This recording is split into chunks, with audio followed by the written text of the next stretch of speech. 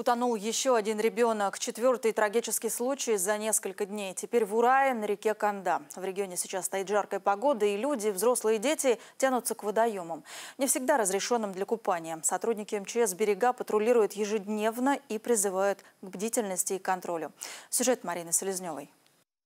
Яркое солнце и столбик термометра с отметкой выше 30. На берегу Иртыша много отдыхающих.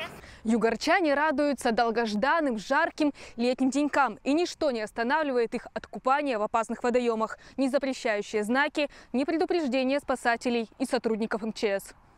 Запретить нельзя. Спасатели могут лишь провести инструктаж. Да, вот правила пользования катерами, лодками, если есть. И аккуратнее будьте, потому что стоят большие да, теплоходы. далеко не забываем вот так обкунуться только от жары. Окунаться, и то аккуратнее надо быть.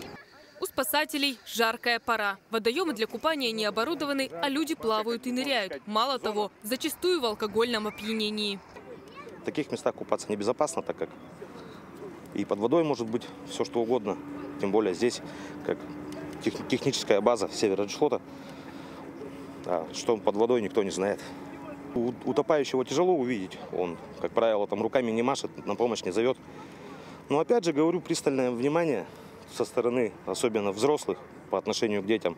На этих кадрах работа водолазов. Они достают тело ребенка. В выходные на водоемах в Югре погибли три несовершеннолетних. В Лангепасе подростки купались в карьере, хотя в городе есть оборудованный пляж. Сегодня утром стало известно о еще одном трагическом случае в Урае.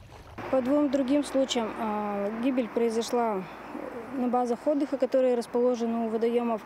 Там также установлены запрещающие знаки, купания запрещено. И гибель произошла в результате недосмотра родителей. То есть дети остались на водоемах, родители их не проконтролировали, чтобы они безопасно покинули водоем.